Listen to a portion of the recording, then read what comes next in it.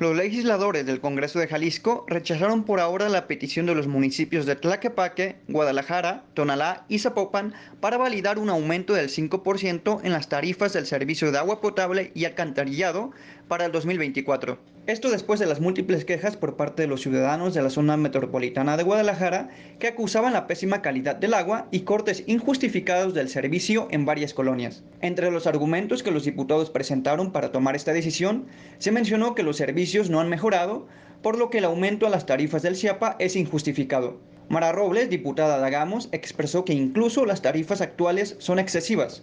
El pasado 25 de septiembre, los integrantes de la Comisión Tarifaria del CIAPA avalaron por mayoría un incremento del 5% en sus tarifas, a pesar de las quejas por intermitencia y la mala calidad en el servicio. No obstante del freno que puso el Congreso al aumento en las tarifas del agua, esto no significa que el incremento no pueda ser avalado en el transcurso del siguiente año. Por otra parte, el Congreso local aprobó ayer la propuesta de la diputada Mara Robles para pedirle al titular del CIAPA, Carlos Torres Lugo, un informe que resuelva todas las dudas que dejó tras su comparecencia de este mes, además de un diagnóstico de la red de agua potable.